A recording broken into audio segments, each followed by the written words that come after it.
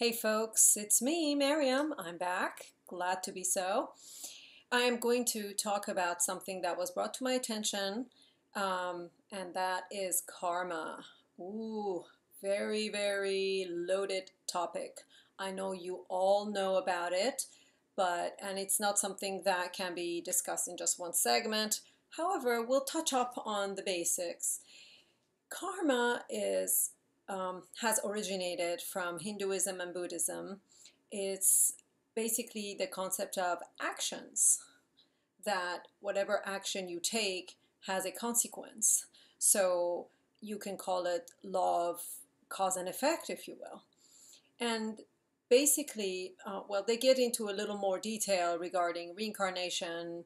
Um, for example, like whatever you do now will affect your next life, or what you did before in your past life is now having an effect on this one. However, we're not going to get into that. That depends on your belief system, and you know, it's just going to make things a little complicated. So we'll just talk about the basics, which is the cause and effect.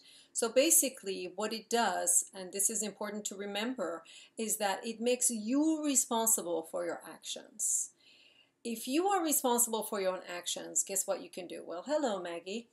Um, you can also uh, have an effect on what you do with your karma, right? With your actions.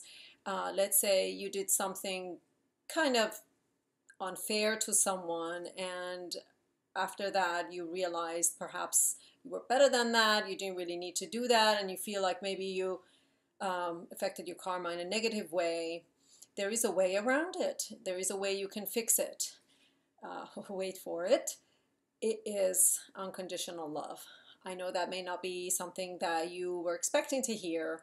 However, by that I mean is letting go of the attachment that you had to the results of something by disconnecting that energy that that you had put into the result of getting back at someone, if you can let go of that and you realize that, you know, you're only bothering yourself and it's not making a difference, then you can let go of that negative karma.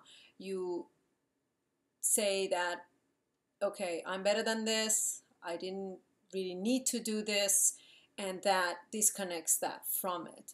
So, you being responsible for your actions means you have control over what you do, what you think, and what results you get. Remember that. We're all responsible for our own actions. Nobody does anything to you. You make that happen. Okay, whether it's positive or whether it's negative. So stop blaming other people for what happens to you.